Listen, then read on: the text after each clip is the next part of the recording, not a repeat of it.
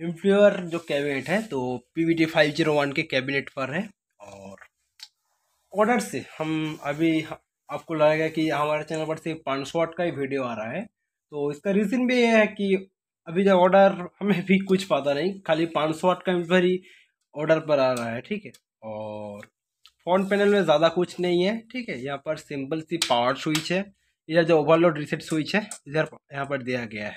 और इधर power LED है, ठीक है? और इधर वॉल्यूम दिए है हमने वॉल्यूम है बेस मिड और ट्रेबल ये जो स्विच हमने दिए है, ये ज़्यादा कुछ नहीं पी एफ़ के ज़रिए बेस को कट करने के लिए यहाँ पर हमने ये स्विच दिए है।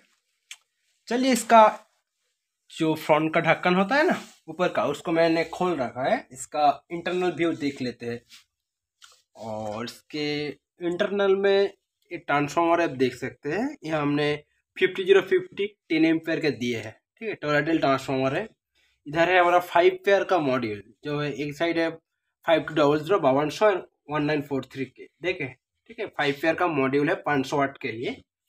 और एक एक चीज़ इधर देखिए, बारह सौ वाट का ड्राइवर है। बारह सौ वाट का ड्राइवर यूज़ करने का एक ही रीज़न है कि होता क्या है, जब एम्पलीफायर हमारा घर में चलता है तो ठीक ठाक होता है नॉर्मल ड्राइवर पर।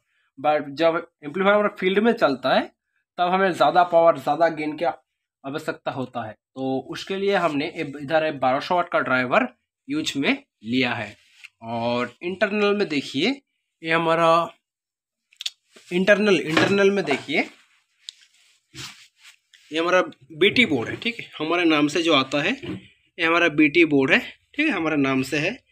और इधर सप्लाई में देख सकते हैं। पैंतीस एम्पेयर का दोनों ब्रिज रेक्टिफायर हमने पैरेलल करके यूज़ किए और 80 वोल्ट 10000 एफ़ के दोनों दोनों कैपेसिटर यूज़ किए हैं हमने।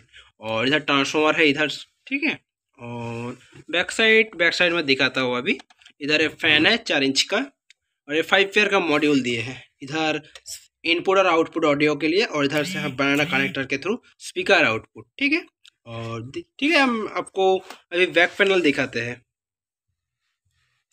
बैक पैनल इधर कटा हुआ है अभी। इधर काटा हुआ है तो इधर है, और जाली नहीं लगाए तभी चलेगा। फिर हम यहाँ पर जाली लगा देंगे तो लगाना हम भूल गए थे तो जाली को यहाँ पर लगा देंगे, ठीक है। और इधर देखिए, ये पावर कॉर्ड है, ठीक है। मैंने यहाँ पर नॉर्मल पावर कॉर्ड नहीं यूज़ किया है। ये देख सकते हैं फ्लैग वाला। फ्लैग की यूज़ किया है बट ये रीज़न ये है, ये जो केबल है एंकोर का एंकोर का पॉइंट सेवन फाइव का केबल यहाँ पर हमने यूज़ किए हैं, ठीक है? इधर इधर देखो बारह ट्राइमेट इधर आउटपुट है, एक पॉजिटिव और एक नेगेटिव ठीक है? इधर हमने हाँ और हॉर्न तो इस पर नहीं चलने वाला, इसलिए हमने लाइन ब्लॉक कर दिया है, ठीक है? तो यही है आज का वीडियो उम्मीद है वीडियो आपको अच्छा ही लगा होगा, ठीक है? देख लो इसका इंटरनल व्यू भी। पूरी साफ़ सुथरी क्लीन एम्पलीफायर हमने रेडी किया है।